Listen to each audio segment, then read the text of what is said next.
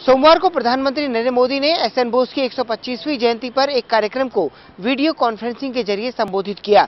उन्होंने कहा कि हमारे वैज्ञानिक हमेशा से ही विज्ञान और तकनीक के माध्यम से जीवन को आसान बनाने में जुटे हुए हैं और जो भी आम आदमी आज के दौर में अपने जीवन को आसान बनाने के लिए तकनीक से जुड़ा है, वो न्यू इंडिया का हिस्सा है।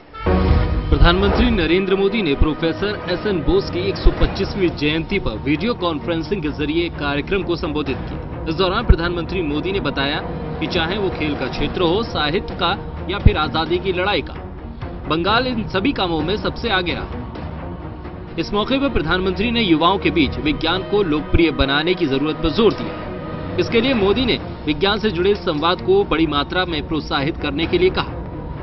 देश में भाषा की विविधता को स्वीकार करते हुए प्रधानमंत्री मोदी ने भाषा को विज्ञान के विकास में अवरोधक नहीं मानने की सलाह दी, जबकि भारतीय भाषा में विज्ञान को प्रोत्साहित करने पर ज़ोर दिया। इसके लिए उन्होंने प्रोफेसर सत्येंद्र नाथ बोस का उदाहरण दिया।